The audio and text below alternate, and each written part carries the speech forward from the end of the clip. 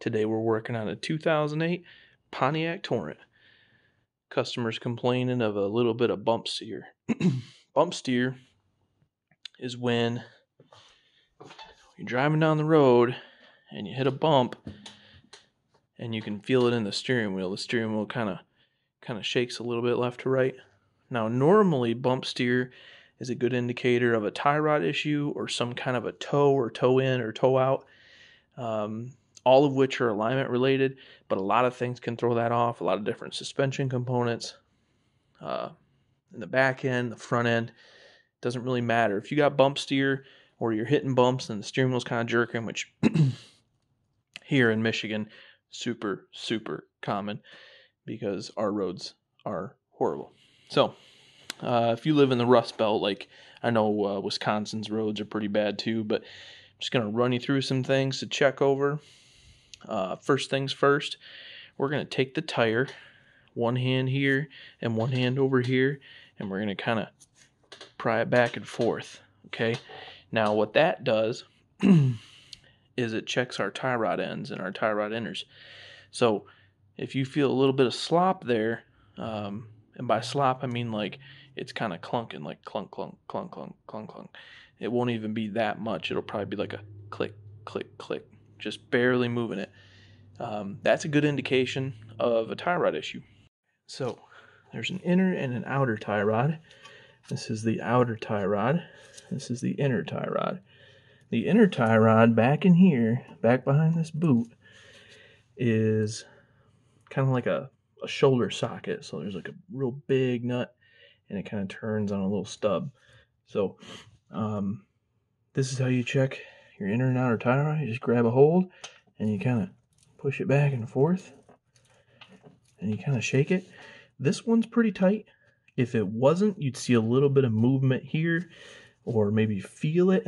Uh, you'd feel like a click, click, click. And you don't have to really muscle it. You don't want to, uh, if you turn this real hard one way or the other, it'll actually start turning the steering wheel. So you don't want to go that hard on it. You just want to grab this, give it a little bit of up and down motion, and then in out to check those. And that's how you check your tie rod. So between taking that tire and kind of wiggling it back and forth like this with two hands, I can't show you both hands because my other hand's holding the, the camera. But if you take the tire as if this were the tire and you kind of push it, pull it, push it, pull it, push it, pull it, and make sure you do it um, pretty pretty in and out. You don't want to go like up here.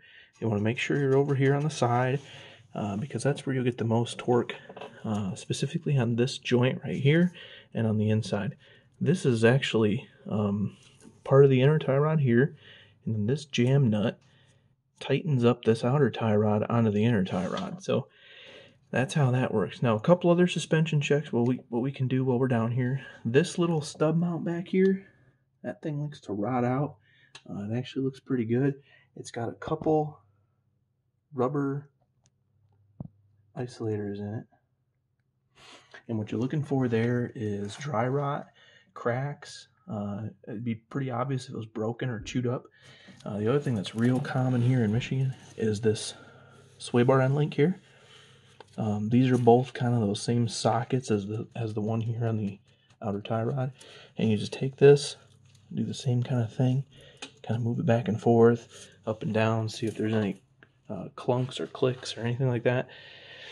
Uh, the specifications for those are like 0.06 inches.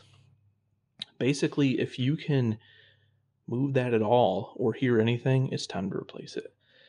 Um, last but not least, for this car, um, aside from checking, you know, that bushing down there for the control arm, and this little guy right here, everybody kind of knows what that is. That's the ball joint.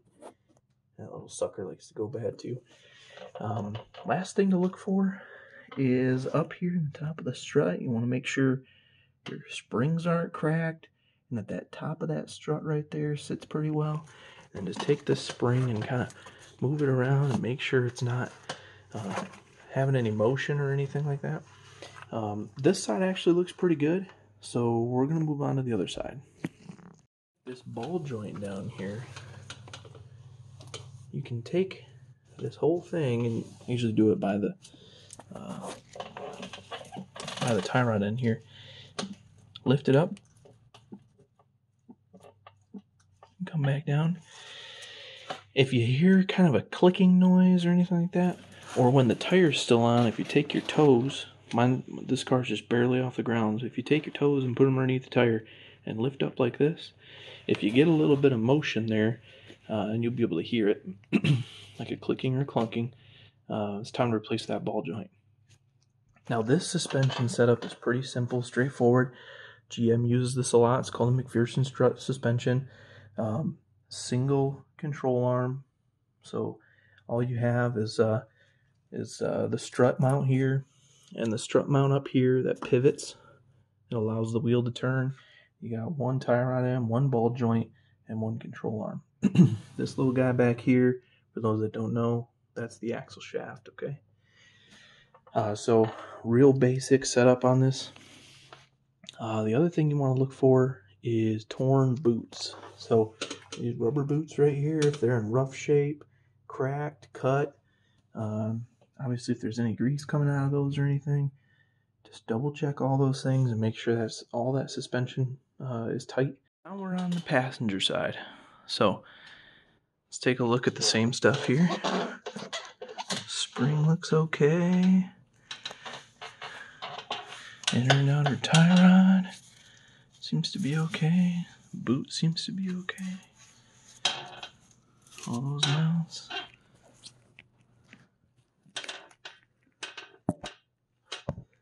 Little stub mount.